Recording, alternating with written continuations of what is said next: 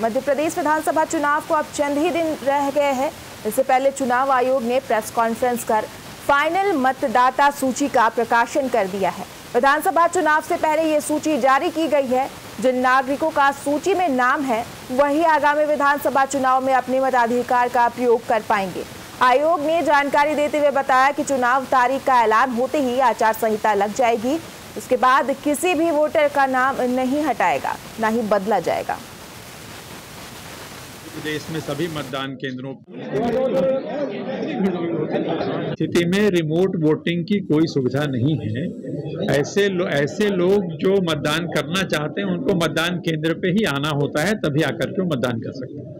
Sir sir एक सवाल ये है मेरा मैं रवीश पाल सिंह आजकल से। ये पॉलिटिकल पार्टीज़ में ईवीएम को लेकर के जो काम फैला हुआ है इतने सालों से मुख्य निर्वाचन पदाधिकारी आप हैं आप उन्हें क्या आश्वासन देना चाहते हैं कि ईवीएम कितनी सुरक्षित है, वो आश्वस्त रहे कि किसी भी तरीके की कोई गड़बड़ी ईवीएम में नहीं होगी। ईवीएम 100 परसेंट सुरक्षित है।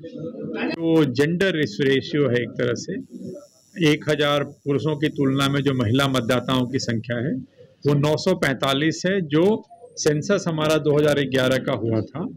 जनगणना में जो हमारा जो अनुपात था जेंडर रेशियो था, वो 931 था। उसकी तुलना में आज हमारा जो इलेक्टोरल रोल का जेंडर रेशियो 945 है, कहने का आशय ये है कि 18 वर्ष से अधिक उम्र की जो पात्र महिलाएँ हैं, उनमें लगभग सभी ने अपना नाम जुड़वाया है। तो एक अच्छी खबर है कि महिलाओं की भागीदारी बढ़ी है। ईपी रेशियो जो होता है इलेक्टर टू पॉपुलेशन रेशियो जिसको कहते हैं, आबादी के हिसाब से मतदाताओं की जो अनुपात है, वो 64.75 है। ये भी सर्वाधिक है अभी तक। मतलब जो निरंतर प्रयास हुए हैं मतदाताओं के नाम जोड़ने के, वो एक तरह से आपको रिफ्लेक्ट हो रहा है फाइनल फिगर में। 18-19 के जो मतदाता हैं, वो हमारी संख्या बाईस लाख छत्तीस हज़ार पाँच सौ चौंसठ है। स्थिति में